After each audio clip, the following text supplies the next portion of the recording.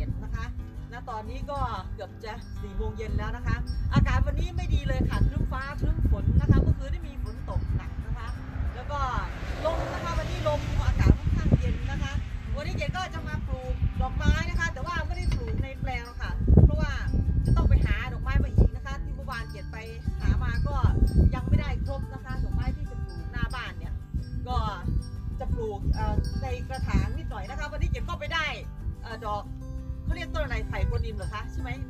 ผ่กวนอิมหรือว่าต้นวาสนา เหมือนไผ่กวนอิมมากกว่าเนาะนี่แหละค่ะ เดี๋ยวก็ไปได้มานะคะล้วเกดก็ไปเดินชมสวนดอกไม้เขานะคะเก๋ก็เก็บบรรยากาศมาให้เพื่อนได้ชมด้วยนะคะ เดี๋ยวไปชมบรรยากาศกันนะคะ แล้วก็จะมาปลูกต้นแคคตัสนะคะที่ได้มาเมื่อวานเนี่ยเอาลงใส่กระถางนะคะ แล้วก็อดอกไม้กระถางเนี่ยเก็บว่าเก็บจะย้ายใส่กระถาง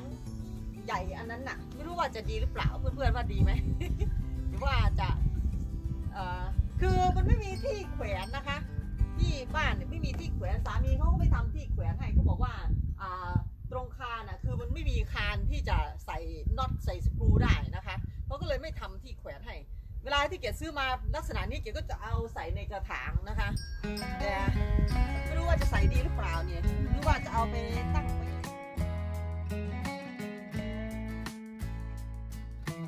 และนี่ก็เป็นบรรยากาศภายในตัวเมืองบลูมสเบิร์ก วันนี้ค่อนข้างที่จะเงียบนะคะ เพราะว่าเป็นวันอาทิตย์ ผู้คนก็คงพักผ่อนกันนะคะ สองข้างทางก็เห็นดอกไม้สีสันสวยงาม ใบไม้ก็เริ่มแตกใบอ่อนนะคะ เขียวอ่อนๆ ต่อไปก็จะเป็นสีเขียวเข้มละค่ะ ก็จะทำให้เมืองดูสดชื่นนะคะ สวยงาม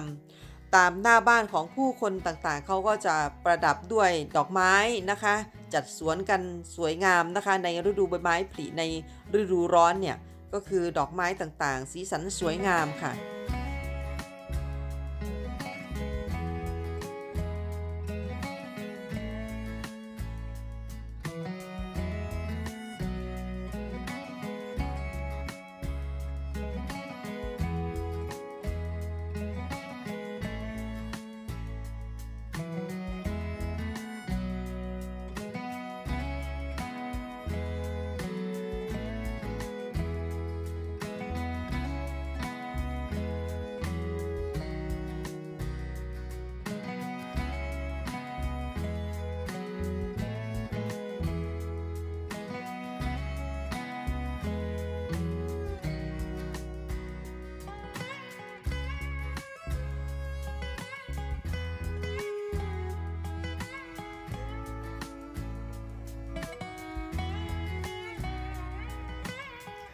นี่คือตอนที่เกดมาหาซื้อดินนะคะ เกดมาที่ Lowe's Lowe's เป็น store ขนาดใหญ่ที่ขายเกี่ยวกับอุปกรณ์ก่อสร้างเกี่ยวกับอของตกแต่งบ้านทุกชนิดนะคะ แล้วเขาก็ขายพวกดอกไม้ของประดับตกแต่งบ้านต่างๆนะคะ สวยงามมากๆเลยค่ะ แต่ว่าราคาสูงมากนะคะที่นี่พวกดอกไม้ของเขาเห็นไหมคะ กระถางเล็กๆก็ 14 เหรียญกว่าก็ 15 ก็ปาเข้าไป 450 บาท 400 กว่าบาทนะคะเพื่อนๆ เนี่ยโอ้อันนี้แพงมากค่ะ อันนี้แพงมากนะคะ ก็โหกระถางนั้นเป็นพันเลยทีเดียวนะคะเพื่อนๆคือดอกไม้ของที่นี่คือเขาก็คือเขาส่งมานะคะเขาไม่ได้ปลูกเอง ถ้าเก็บไปซื้อที่กรีนเฮาส์เนี่ยราคาจะถูกกว่ามากนะคะ เพราะว่าที่กรีนเฮาส์เขาปลูกเองนะคะ เป็นของโลโก้เนาะแต่ที่นี่คือเขาส่งมาอีกทีนึงนะนะคะ ดูราคาแต่ละกระถาง ถ้าเปรียบเทียบกับที่ greenhouse ที่เกดไปซื้อนะคะ ค่อนข้างแพงมากค่ะที่นี่นะคะเพื่อนๆ แต่ว่าดอกไม้ของเขาก็มีหลากหลายชนิดนะคะ อย่างที่เห็นนะคะก็มีแต่สวยๆ งามๆ ทั้งนั้นค่ะ วันนี้ก็มีผู้คนมาช้อปปิ้งกันออพอสมควรนะคะ แต่ก็ไม่ถือว่าเยอะมากนะคะ อีกประมาณอาทิตย์ 2 อาทิตย์เนี่ยคงจะคนเยอะนะคะ เพราะว่าเขาก็จะได้เวลาพ่อปลูกกันนะคะ อันนี้เป็นมันเทศนะคะสวีทโพเตโต กระถางเดียวเล็กๆเนี่ย4เหรียญ28 นี่ก็ร้อย20กว่าบาทเด้อพี่น้องจ๋าเนี่ยเห็นไหมไม่ใช่ใหญ่นะต้นเล็กๆเองนะคะ ต้นเดียวนั่นนะร้อยยี่สิบกว่าบาทนะคะ อันนี้ 12 เหรียญกว่าเนี่ยสามร้อยกว่าบาทนะคะสามร้อยหกสิบกว่าบาทนะคะเพื่อนๆเนี่ยกระถางหนึ่งเนี่ยเนี่ยก็มีอ่ากี่ต้นนั่นน่ะดูราคา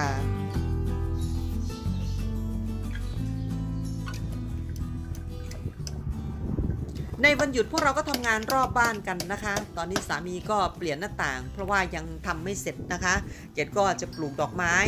แล้วอีกไม่นานก็ต้องทำสวนนะคะ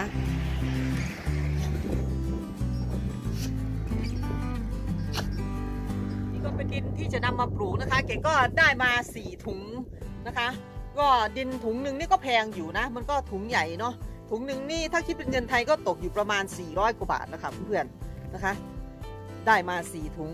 ก็ไม่รู้ว่าจะพอหรือเปล่านะคะ เพราะว่ายังต้องเอาใส่กระถางกระถางอีก 4 กระถางนะคะ ก็ดินนี้ก็ค่อนข้างใช้ดีนะคะ ปลูกดอกไม้ก็งามอยู่นะคะกิ๊กก็ใช้แบบนี้แหละค่ะเป็นประจำทุกปีนะคะ นี่นี่คือพวกแคคตัสที่จะปลูกในวันนี้นะคะจะเอาปลูกใส่แบบมิกซ์ใส่กันนะคะ เดี๋ยวไว้คอยมาดูว่าจะสวยไหม อันนี้เป็นต้นแคคตัสในกระถางตั้งแต่ปีที่แล้วนะคะ อ้ที่ปลูกรวมกับแคคตัสเมื่อปีที่แล้วเนี่ยเดี๋ยวอยู่ต้นเล็กๆสองต้นมาลงมือปลูกกัน อันนี้เป็นดินเก่าตั้งแต่ปีที่แล้วนะเนี่ยก็นำมาใช้ได้อยู่ถือว่าน่าจะใช้ได้อยู่นะก็นี่แหละมีเขาเรียกว่าต้นอะไรเจ๊ก็ไม่ทราบนะเดี๋ยวก็เรียกเป็นพวกอาตระกูลเดียวกันกับพวกแคคตัสนะคะ หลายชื่อเหลือเกินค่ะ ดอกไม้ต้นไม้ที่นี่มีหลากหลายชื่อเหลือเกิน หลากหลายพันธุ์หลากหลายชื่อนะคะ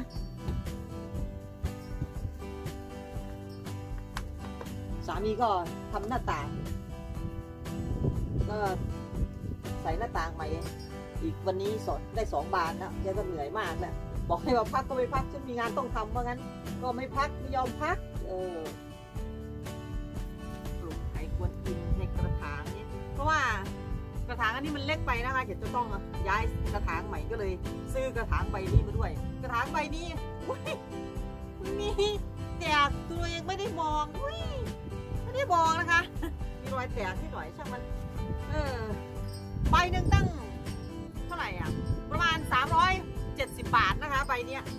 ใบเล็กๆนี่ของที่นี่ค่อนข้างแพงนะคะ เกี่ยวกับพวกอุปกรณ์พวกไอของตกแต่งบ้านอะไรพวกนี้นี่ค่อนข้างแพงนะคะ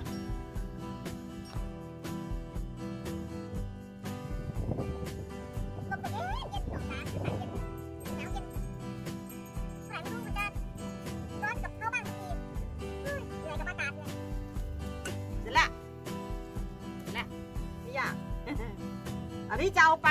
เอาไปไว้ที่ออฟฟิศนะคะอ่าออฟฟิศที่เกียรติทำงานนะเพราะว่าที่ออฟฟิศไม่มีอะไรสีเขียวๆนะคะ เอาไปตั้งให้สีเขียวปลูกเสร็จแล้วหน้าตาก็เป็นอย่างนี้นะคะเพื่อนๆต้นเล็กๆเนาะไอ้แคคตัสหัวจุกๆนะคือเขาหลุดออกนะคะ เอามือไปโดนนิดเดียวเขาก็หลุดออกนะคะ เก๋ก็เลยเอามาปักไอไว้ข้างๆไม่รู้ว่าจะโตหรือเปล่านะ ก็ตายก็แล้วไปนะคะ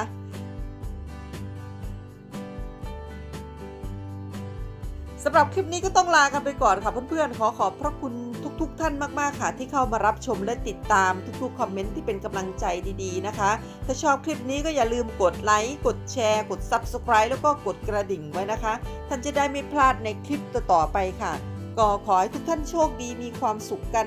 ทุกๆ คนในทุกๆ วัน สุขภาพแข็งแรงนะคะ ห่างไกลจากโรคภัยทั้งปวงจากโควิดด้วยค่ะ กลับมาพบใหม่ในคลิปหน้าสำหรับวันนี้ สวัสดีค่ะ